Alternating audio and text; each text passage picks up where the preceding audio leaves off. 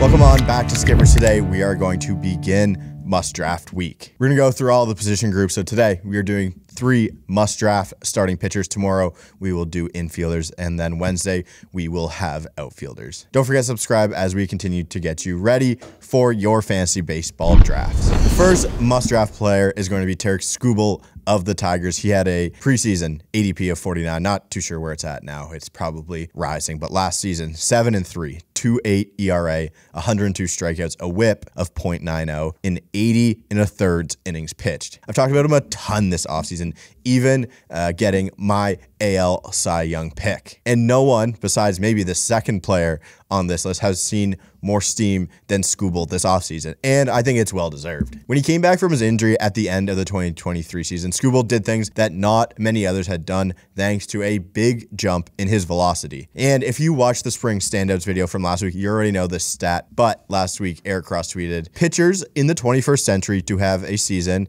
with minimum 80 innings pitched. So that got Skubal in on this with an ERA under three, whip under one, walk percentage under 5%, and a strikeout percentage above 32%. Here are all the pitchers. Skubal in 2023, DeGrom in 2021, Verlander in 19 and 18, Corey Kluber in 17, Clayton Kershaw 2015, and Pedro Martinez in 2000. That is a pretty uh, damn good group of pitchers to be lumped in with. Skubal's four-seam fastball velocity averaged 95.8 miles an hour in 2023, and that was up from 94 miles an hour in 2022. The thing that really helps with Skubal's fastball is for the second straight season, he was in the 99th percentile in strike percentage with the fastball. Seen as a two-pitch guy, and a guy like Kevin Gausman is kind of the same thing because Gausman throws a ton of his fastballs in the zone, and you get that split to get swing and miss that is out of the zone. It has been successful for Skubal as well. The swing and miss pitch for him last season was the changeup. It returned a batting average against of 167 and had a whiff rate of 50.6%. His fastball shape wasn't perfect, but all he did this offseason is add more velocity. He has been up to 100 miles an hour this spring, sitting around 97, and he again is generating a ton of swing and miss. Looking at his percentile rankings, here are the following categories that he was over the 90th percentile in last season.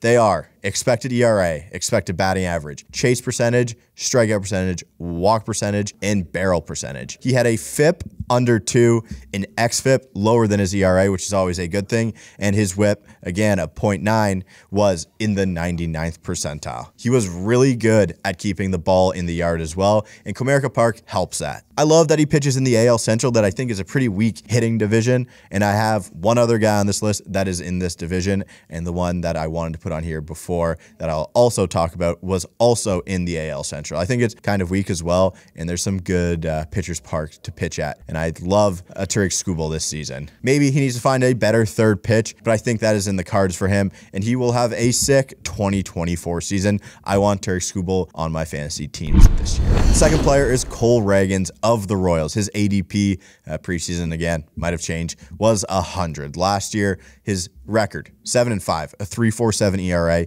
He struck out 113 guys, a whip of 116 in 96 innings. A scout has said that he thinks Cole Ragans is the left-handed version of Jacob DeGrom. Ragans was the guy who went the other way in the Aroldis Chapman trade last season and turned into one of the best starters in baseball for the second half of the season. This is a Cespedes barbecue tweet from July 30th through the end of last season. It's not the biggest sample size in the world, but Terry Skubal and Cole Ragans ranked one and two in Fangraphs WAR among starting pitchers in that time. And I think looking at splits isn't a perfect thing, but when you know what these guys did, Skubal coming back from injuries and Ragans becoming a starter, I think these splits are much more important for those two players. And again, Cole Ragans was only a starter for 12 games. So his stats as a starter last season, five and two. He threw 70 and two thirds. Uh, his ERA 264. He only had 50 hits. He only gave up three home runs. He had 89 strikeouts and a whip of 107. Way better than his full season numbers, obviously. Let's look more into some of the numbers. The fastball is legit. And like Skubal, he has a really good changeup. The one concerning thing is his walk rate. But I hope people aren't too worried about walk rate as we had Cy Young winner Blake Snell with a walk rate of 13.3%. Ragans not as bad, still 10.5% walk rate. But if you can still get people out. It doesn't matter how they get on base when you have whip in your categories as well. It's the walk or the hit. It's the same thing. It's just not letting those snowball turn into each other. Say you walk two guys and give up a hit. If you're going to walk the guy, who cares if he hits a single or he gets on base by a walk? If you're still going to go punch three guys tickets, it's fine. Uh, we still have to deal with that one whip um, over that inning or figure that out. There's a nice a little wrinkle in StatCast where you can look at pitchers who had similar movement and velocity. And the one that stood out to me for Cole Ragans was Shane McClanahan,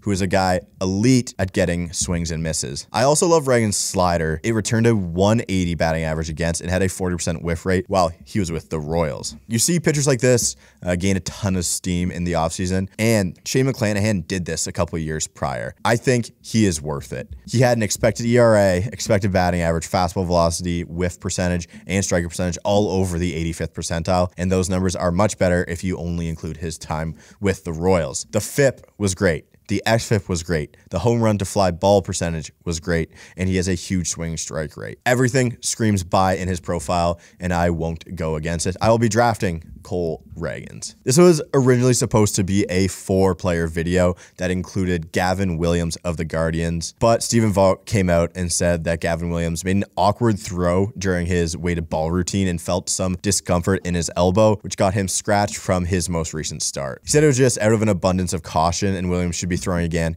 in a couple of days, but I haven't seen any more news uh, before I was about to do my write up on Gavin Williams here.